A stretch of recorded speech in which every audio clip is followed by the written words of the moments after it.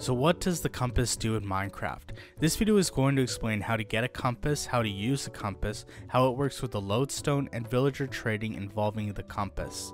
The first thing that I should mention is that this video is meant for the Java edition.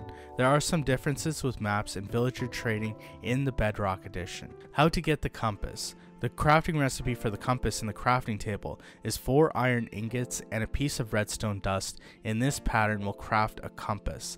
The compass can also be found in 3 loot chests. The first is the map chest in a shipwreck. The shipwreck is found in ocean, beach, and snowy beach biomes. It can also be found on its side upright or upside down. Also, there can be pieces of the ship missing, so this chest may not be on the shipwreck. The map chest can be found in the back of the shipwreck in the lower section. There is a 7.7% chance of finding a compass. The Stronghold Library chest has a 10.9% chance of having a compass. Strongholds are structures found underground and they will be thousands of blocks apart. There will be a library found in the stronghold where you can get a compass. The last one is in the village in the cartographer's house. There's a 26.3% chance of getting a compass. You can also trade with the expert level librarian, which is the fourth level. There's a 50% chance for them to have a trade of 4 emeralds for a compass.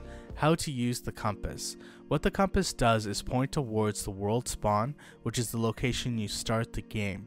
If you're in another dimension like the end or the nether, the compass will point randomly. If you want the compass to point towards a specific point, you can use it with a lodestone. The crafting recipe for a lodestone is a netherite ingot and 8 chiseled stone bricks. The lodestone also has a 100% chance of being in the bridge chest in the Bastion Remnant. The Bastion Remnant will be occupied by piglins and piglin brutes. Piglins will attack you if you're not wearing a piece of gold armor or open a chest. The piglin brute will attack you even if you are wearing a piece of gold armor.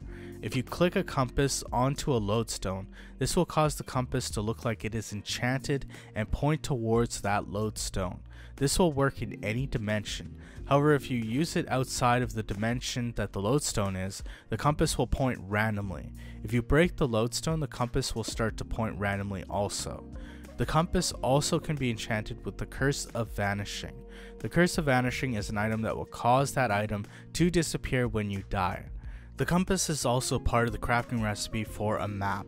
In the crafting table, 8 pieces of paper and a compass will craft an empty map. The compass can also be used in villager trades. There are two trades that you can make with the cartographer involving compasses. The first is the apprentice level, which is the second level. There is a trade of 13 emeralds and a compass for an ocean explorer map. The ocean explorer map will lead you to the nearest ocean monument. The second trade is at the journeyman level, which is the third level. There's a trade of 14 emeralds and a compass for a woodland explorer map. This map will lead you to the woodland mansion. One thing to keep in mind is that these maps will be based on the nearest structure to the villager, so the villager will keep giving you the same map unless you move that villager.